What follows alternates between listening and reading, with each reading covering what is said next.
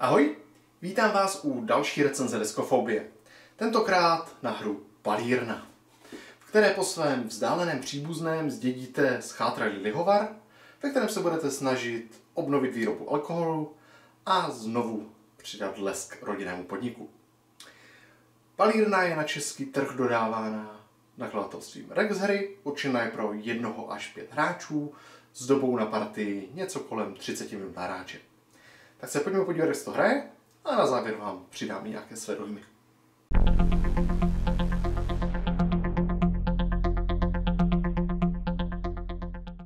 Ve hře Palírna zdědíte schátralý lihovar a i přes své zprvu chabé znalosti receptur se pouštíte do výroby co nejkvalitnějších nápojů. Jedna partie se skládá ze sedmi kol, rozdělených do několika fází. Na začátku kola obdržíte příjem z karet vylepšení palírny, pokud nějaké takové máte.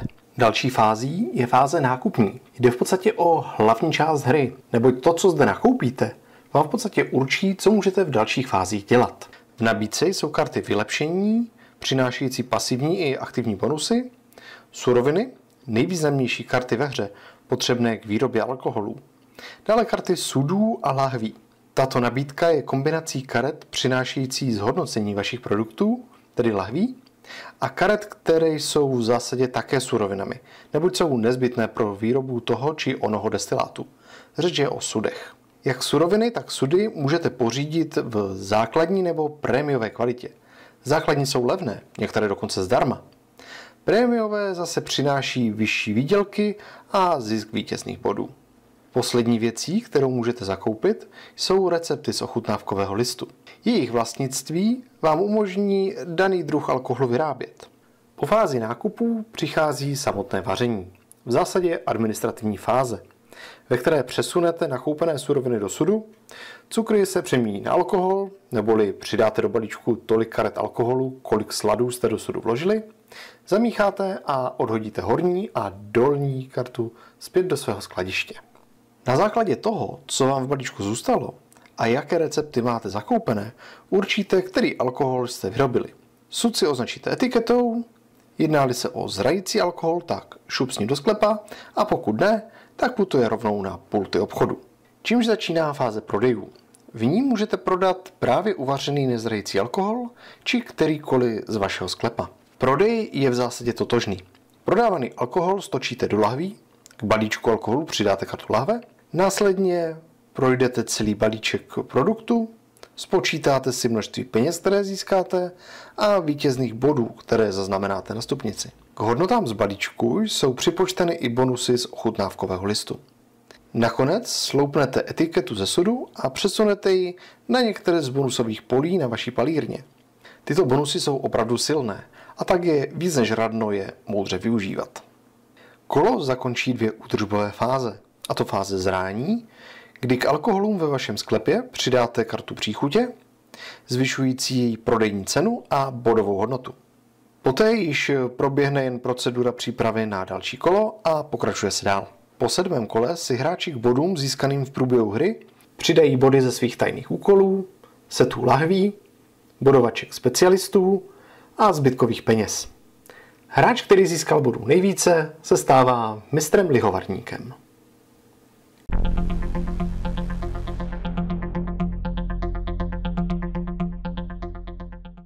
Takže takto se hraje palírna. Jedná se ale o dobrou hru? V první řadě bych rád řekl, že ano. Palírna je skutečně zábavnou, příjemnou hrou se snadnými pravidly a velmi pohodově plynoucí partí. Velkou pochvalu si zaslouží právě lehkost mechanismu, která zajišťuje při hře skutečně příjemnou atmosféru a dokáže vás vtáhnout do děje. Obecně téma je velkým kladem palírny, kdy je příjemným větrem a skvělým osvěžením v záplavě zvířátkových her a podobných titulů. Autoři sami o sobě říkají, že se snažili prostě co největší tematičnost a na hře to je opravdu vidět. I když ani zde se nevyhnuli pravidovým kličkám typu červené plus bílé v poměru 2 k 1 je šampaňské. Tím myslím třeba, že vodka jde vyrobit z čehokoliv, anebo že majitel palírny nepozná, co uvařil do té doby, než to ochutná, za předpokladu, že daný alkohol zná, protože kdyby ho neznal, tak i perfektní viska je podle něho vodka. Za pochvalu rozhodně stojí, jak v mechanikách zpracovali postup pálení alkoholu. Zejména myslím proces přeměny části cukru při kvašení na alkohol a ukap s dokapem při fázi destilace. Velmi pěkné je, s jakou měrou nadsázky a vtipů je celá hra vlastně vytvořena. Ať už se jedná o lihovarníka, který neví, co vaří, až po karty příchutí, reprezentující změnu chutí alkoholu vlivem sudu, v kterém zraje a celkově okolí, kde je ten daný sud uskladněn. A tak potom degustátor při ochutnávce může cítit tóny kávy a vanilky, stejně jako pneumatik nebo sportovní tašky. Hold, nevždy se ten alkohol vyvede. Po produkční stránce je hra na velmi vysoké úrovni. Přichází s praktickým inzertem, který myslí na obalené karty, stejně tak jako na obsah rozšíření. Všechny komponenty jsou velmi pěkné, kvalitní. Hra přináší praktické pořadače na žetony, peníze a tak dále. Takže zde super. Z produkční stránky mám jedinou výtku a to jsou zbytečně títěrné texty na kartách, které navíc mají zásadní vliv na bodování, takže je opravdu škoda, že jsou tak malé.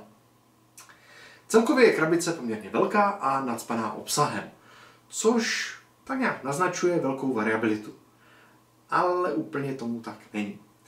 Sice hra obsahuje množství alkoholů různě zkombinovaných v ochutnávkových listech, množství osobních a veřejných cílů, různých lihovarníků, které mají svoje speciální recepty a pasivní schopnosti.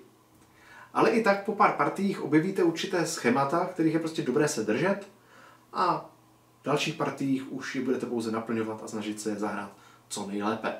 Takže variabilita zde trošku pokulhává. Hra přichází s velkou porcí náhody, kterou navíc téměř nejste schopni ovlivnit.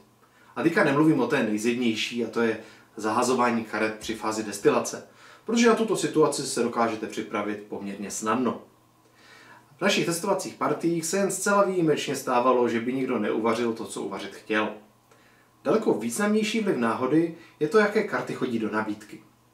Protože ve hře máte poměrně málo peněz. A tak není zde dost prostoru pro nějaké manevrování a úpravy strategií. Vy prostě potřebujete kupovat to, co potřebujete kupovat. Ne to, co je k mání. Naštěstí tato náhoda je spravedlivá a trestá i odměňuje v podstatě všechny hráče obdobně. Tím nejvýznamnějším prvkem náhody a tím, který hru ovlivňuje nejvíce, je už setup hry. Kdy vy jste postaveni před to, že dostanete nějakého lihovarníka, dobře, můžete si vybrat ze dvou, ale stejně, a k němu nějaké tajné úkoly a kombinaci veřejných úkolů pro celou hru. A právě hráč, kterému tato směs sedí nejvíce a nejvíce se kombí, je silně zvýhodněn a už ze startu předurčen k vítězství.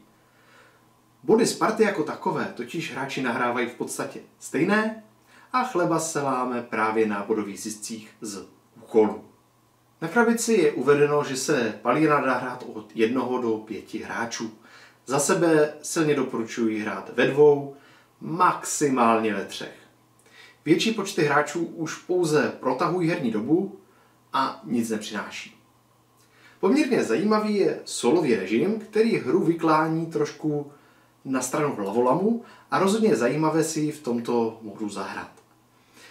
Nepředstavuje ale příliš eh, velkou výzvu, takže pro vyloženě solo hráče bych palírnu úplně nedoporučil a je vhodná spíš jako občasné zpestření nebo pro natrénování strategií pro hru s více hráči. Abych to tedy vše shrnul, Palírna je krásným, pohodovým, příjemně se hrajícím titulem, který i přes množství komponent přináší hráčům stále se opakující herní zážitek.